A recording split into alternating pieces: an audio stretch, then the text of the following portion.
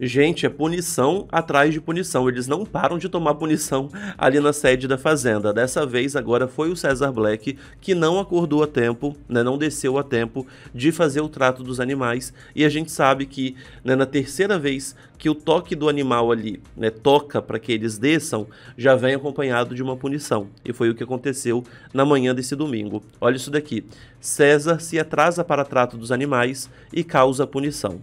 Nessa manhã, César Black se atrasou para descer para o trato da vaca e do touro em a Fazenda 15. O peão esperou até o terceiro toque e causou uma punição para casa. César terminava de tomar o seu café da manhã na área externa, enquanto Lucas o esperava nas escadas para o trato em conjunto dos animais. No entanto, o terceiro aviso para o trato da vaca soou, seguido pelo sinal sonoro da punição.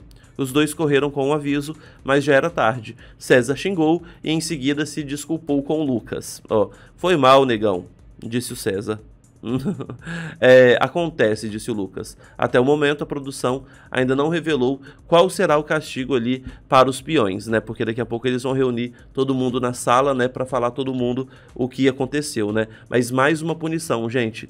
Lembrando que o último mandato do Chay foi recordista de punição. Foram mais de 140 horas de punição. Acho que quatro daquelas seis punições que aconteceram no mandato do Chay foi causado pela Lili, que entrou na piscina sem entrou na piscina com o microfone, não pode, tomou água lá embaixo na parte dos animais, também não pode levar copo, nada do tipo lá para a parte dos animais acabou lavando, né, usando o banheiro da sede, né, pra, uma vez para pegar um álcool em gel, outra vez ela só lavou a mão, duas vezes, né, punição também para todo mundo, e agora o César Black aí, mais uma punição, já não vai ter como daqui a pouco eles fazerem é, mais punição, vai fazer sem o que, gente? Já ficaram sem ovos, sem pão, é, sem água quente, sem...